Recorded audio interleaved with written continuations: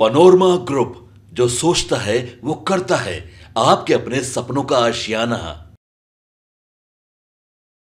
नमस्कार, भारत लाइव देख रहे हैं आप और ये खबरदार है जहाँ पर हम खबरों को विस्तार से बताते हैं। बिहार के अलावा देश भर में कई ऐसे राज्य हैं जिन पर विशेष राज्य के दर्जे की मांग होती रही है। चुनाव 2024 लोकसभा चुनाव चल रहे हैं और इस चुनाव के बीच में बिहार के अलावा देश भर के कई ऐसे राज्य। और बात जब जम्मू कश्मीर की हो तो नरेंद्र मोदी और अमित शाह पूरे तरीके से लग जाते हैं कि इस राज्य को कैसे आगे बढ़ाना है। धारा 370 जब से जम्मू कश्मीर में हटी है तब से वहाँ के डेवलपमेंट और वहाँ के जो रोज़े रोज़गार हैं, उनमें बढ़ोतरी को लेकर नरेंद्र मोदी की सरकार काफ़ी लगी हुई है। और देखिए, अमित शाह की बात जब आती है तो उनकी चाणक्य नीति और उनकी जो मैनिफेस्टो है, जो उनका मैजिक है, वो कहीं ना कहीं काम आने लगता है।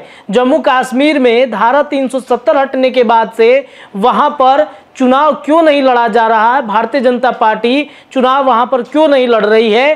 ये तमाम सवाल विपक्षी गठबंधन, महागठबंधन की तरफ़ से खूब उठते रहे हैं कि भाई 2024 का लोकसभा का चुनाव है, वहाँ पर जो एनडीए अलायंस के गठबंधन और घटक दल हैं, उनके साथ वहाँ पर चुनाव लड़ रहे हैं। भारतीय जनता पार्टी ने अपना कैंडिडेट वहाँ पे क्यों नहीं उतारा? तो अब देखिए इन सब का जवाब अमित शाह ने बड़े ही विस्तार पूर्वक महागठबंधन और इंडिया गठबंधन को दे दिया है। देखिए अमित शाह कहते हैं कि 30 सितंबर से पहले विधानसभा का चुनाव जम्मू कश्मीर में हम करा देंगे।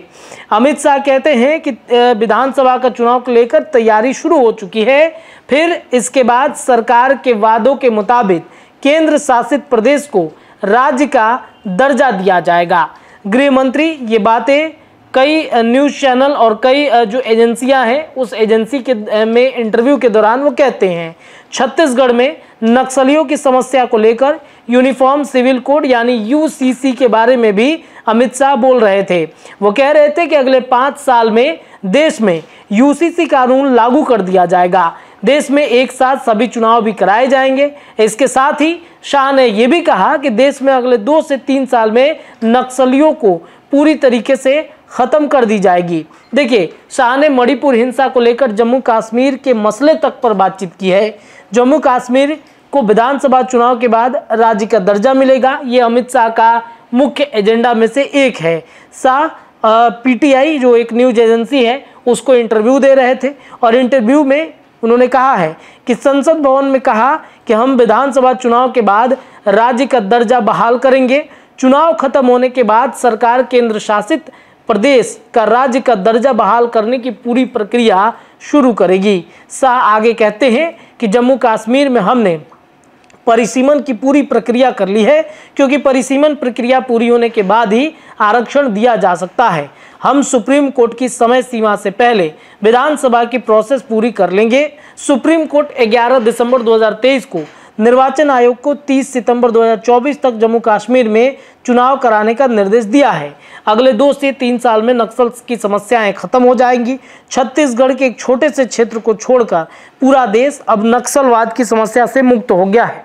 छत्तीसगढ़ में पाँच महीने पहले जब से भाजपा सरकार सत्ता में आई, तब से नक्सलियों ने राज्य छोड़ना शुरू कर दिया है। अगले दो से तीन साल में यह समस्या देश भर में पूरी तरीके से खत्म हो जाएगी। मणिपुर के हिंसे पर भी उन्होंने कहा है कि शांति स्थापित करने का काम मणिपुर में करवाया जा रहा है।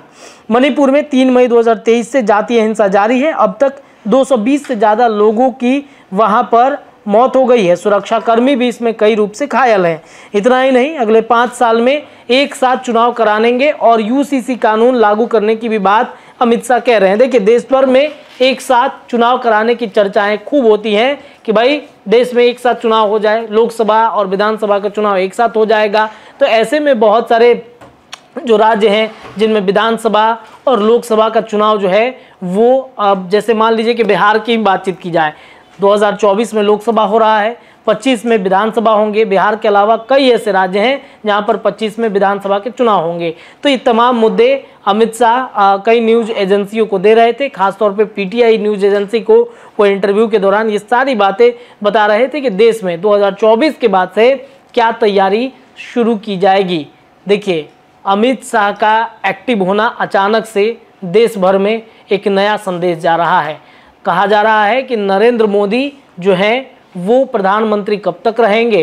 क्या नरेंद्र मोदी को एक गुड जो रिटायरमेंट कहा जाता है, उसकी तैयारी भारतीय जनता पार्टी कर रही है? क्या रिप्लेसमेंट के रूप में अमित शाह को तैयार किया जा रहा है? ये एक बड़ा सवाल हम आप तक तो छोड़े जाते हैं।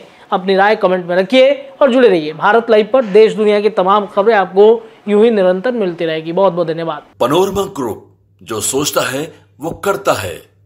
अगर ये वीडियो पसंद आई और वह बिहार के राजनीति और बिहारियत से सरोकार रखेनी तो सब्सक्राइब बटन दबा के चैनल के सब्सक्राइब कर ली। ओजे एगो घंटी बा। ओकरा बटन दबा देला से कुल सटीक और मारक खबर रुआ मुफ़्त में मिल जाई। अगर रुआ पत्रकारिता के हमनी के नया प्रयोग में सहयोग कर चाहतानी तो ज्वाइन बटन दबा दी। पेटीएम नंबर नोट कर ली nine three eight six eight one six seven double zero. धन्यवाद।